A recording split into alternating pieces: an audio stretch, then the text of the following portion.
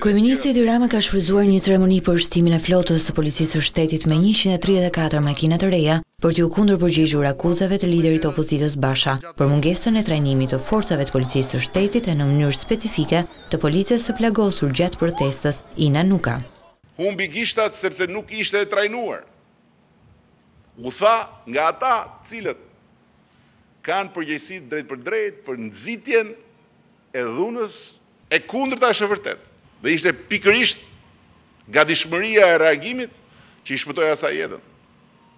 Sepse sot do të kishim lavdi Zotit kjo nuk ndodhi, një tjetër dëshmore.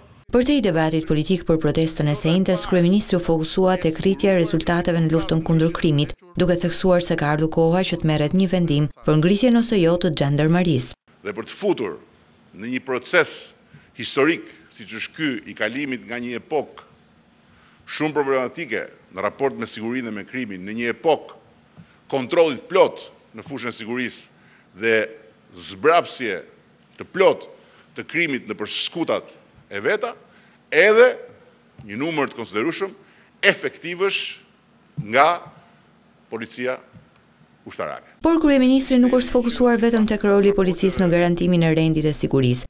Ai ka kërkuar edhe modernizimin e sistemit të vendosjes së gjobave për shkeljet e qarkullimit rrugor.